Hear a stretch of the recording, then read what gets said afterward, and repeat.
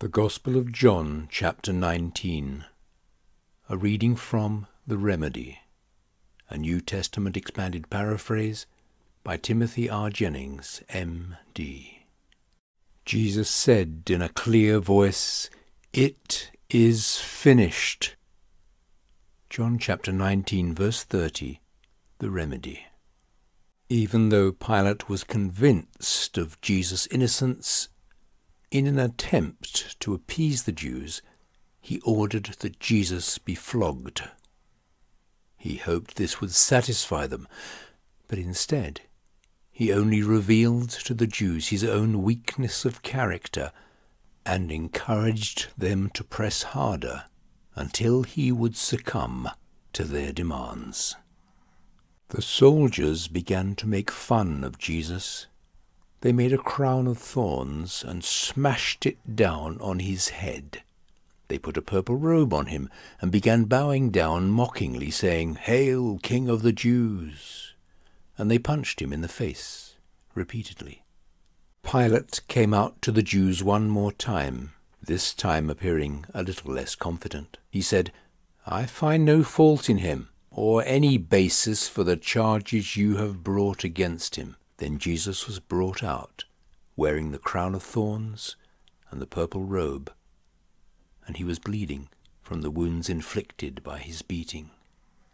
When the Jews saw that Pilate had had Jesus beaten and tortured, even though he had declared him innocent, they knew he could be pressured to do their will. So they shouted in overwhelming rage, Crucify him! Crucify him! Pilate answered, If you want to crucify him, take him and do so. I find nothing in him deserving of crucifixion.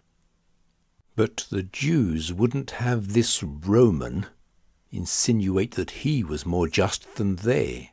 So they shouted, Our law says he deserves death, because he, a mere man, claims to be the Son of God. Pilate was shocked and overcome with fear when he heard what the Jews had said. He went back into his palace and questioned Jesus. He asked, Where do you come from? But Jesus kept silent. Are you refusing to answer me? Pilate said, I have the power to set you free or have you crucified, so you better answer my questions. Jesus replied calmly, You would have no power over me if it had not been granted you from God. Therefore, those who have rejected the truth, plotted my death, and are now manipulating you, are much sicker in heart, darker in mind, and more evil in character than you are. From then on, Pilate tried to get the Jews to agree to set Jesus free. But they were frothing for his blood and kept shouting, If you let him go, you are an enemy of Caesar. Anyone who claims to be a king opposes Caesar. When Pilate heard this, he became fearful for his own position and authority. So he brought Jesus out and sat down in his judgment seat at a place known as the Stone Court which in Aramaic is Gabbatha. It was Friday before Passover, about noon. Pilate said to the Jews, Here is your king. But the Jews knew they had Pilate about to capitulate, and shouted all the louder, Away with him! Away with him! Crucify him! Do you want me to crucify your king? Pilate asked. Then the chief priests answered, We have no king but Caesar. Exhausted and frustrated, and not knowing how to save Jesus and appease the Jews in order to secure his own position, Pilate finally handed Jesus over to them to be crucified. So the soldiers took Jesus, placed a cross on his shoulders, and led him to the place of the skull, which in Aramaic is called Golgotha. Here they crucified him with two thieves, one on either side, and Jesus in the middle. Pilate had a sign placed on the cross which read, Jesus of Nazareth, the King of the Jews. It was written in Aramaic, Latin, and Greek, and many of the Jews read the sign because the place of the crucifixion was near the city. The chief priests were upset that Pilate had put such a sign on Jesus' cross and protested, Don't write the King of the Jews, but that this man claimed to be King of the Jews. But Pilate was tired of the Jews and their scheming, and said, What I have written is what I have written. The soldiers who crucified Jesus divided his clothes among them, one piece for each, with the undergarment remaining.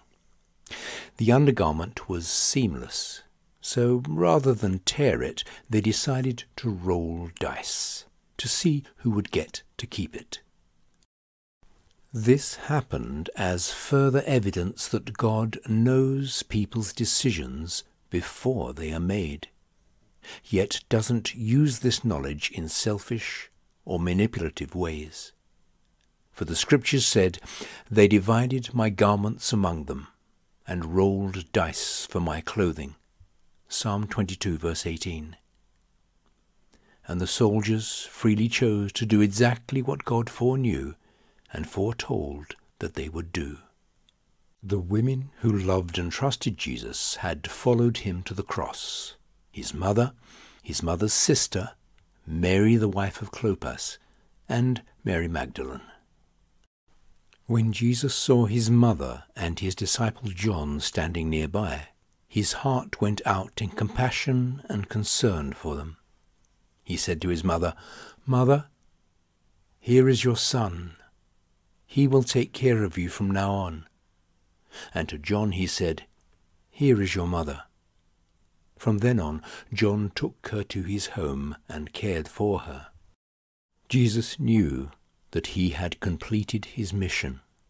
He knew that he had revealed the truth about God and himself and the nature of sin, that he exposed Satan as a liar and murderer, and that he had lived perfectly as a human being. Knowing all this, Jesus was aware that the war was won and his mission was finished, and he whispered, I'm thirsty. A jar of vinegar was there. They soaked a sponge in the vinegar, put the sponge on a hyssop stalk, and lifted it to Jesus' mouth. When he had moistened his lips, Jesus said in a clear voice, It is finished. With that he bowed his head and breathed his last. He had completed his mission. He had finished the work given him to do. It was Friday, the day of preparation for the Sabbath, and the next day was the special Sabbath of the Passover. The Jews did not want bodies left on the crosses during the Sabbath, so they asked Pilate to have the legs of the victims broken and the bodies taken down. The soldiers came and broke the legs of the two men crucified with Jesus. But when they came to Jesus, they were shocked to discover that he was already dead, so they did not break his legs.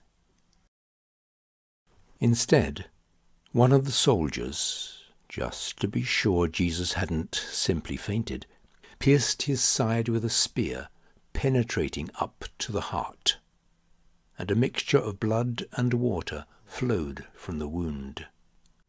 John, who saw this, has given testimony to what he saw, and his account is accurate and reliable. He knows exactly what he saw and he recounts it so that you may also know and have confidence in the truth. All of these things occurred exactly as God foretold in the Scriptures, where it says, He keeps all his bones, not one of them is broken. Psalm 34, verse 20, English Standard Version. And they will look on the one they have pierced. Zechariah chapter 12, verse 10. Later, Joseph of Arimathea went to Pilate and asked for the body of Jesus. Joseph was a follower of Jesus, but he feared the Jews, so he had followed Jesus secretly. Once he had obtained Pilate's authorization, he came and took Jesus' body away from Golgotha. Nicodemus, the man who had previously visited Jesus at night, helped Joseph carry the body. Nicodemus also brought about 75 pounds, 34 kilograms, of aloe and myrrh for the burial. Taking Jesus' body, they reverently wrapped it, applying spices in the strips of linen. This was in keeping with Jewish burial customs. Near where Jesus was crucified was a garden, with a tomb that had never been used. Because it was nearby, and the Sabbath was approaching, they laid Jesus in this tomb. This was a reading of the Gospel of John, chapter 19, from the Remedy.